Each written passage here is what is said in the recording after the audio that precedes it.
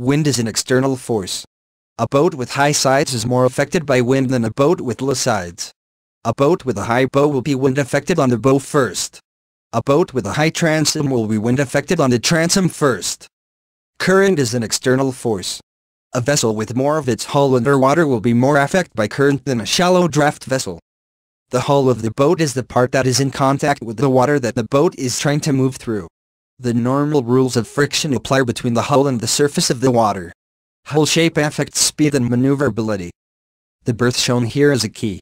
When approaching a berth like this we must consider how the solid nature of the quay wall interacts with the current to affect your boat. These moorings are called slips. The current is free to flow under and between the berths. Every time we do a berthing or unberthing, the external forces on the boat can be different. On the day and at the time shown in this diagram, the helmsman has to maneuver the boat with a current on her port side and pushing her boat away from her berth.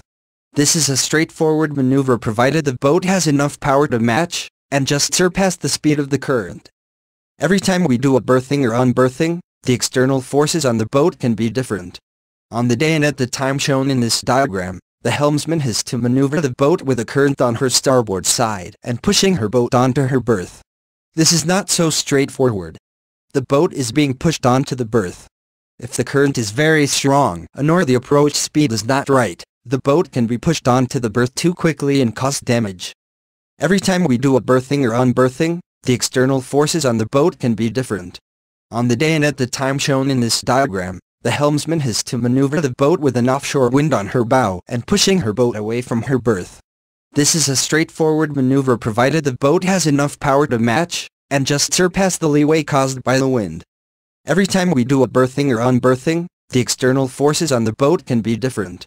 On the day and at the time shown in this diagram, the helmsman has to maneuver the boat with a wind from her stern and pushing her boat onto her berth. This is not so straightforward. The boat is being pushed onto the berth. If the wind is very strong, nor the approach speed is not right, the boat can be pushed onto the berth too quickly and cause damage.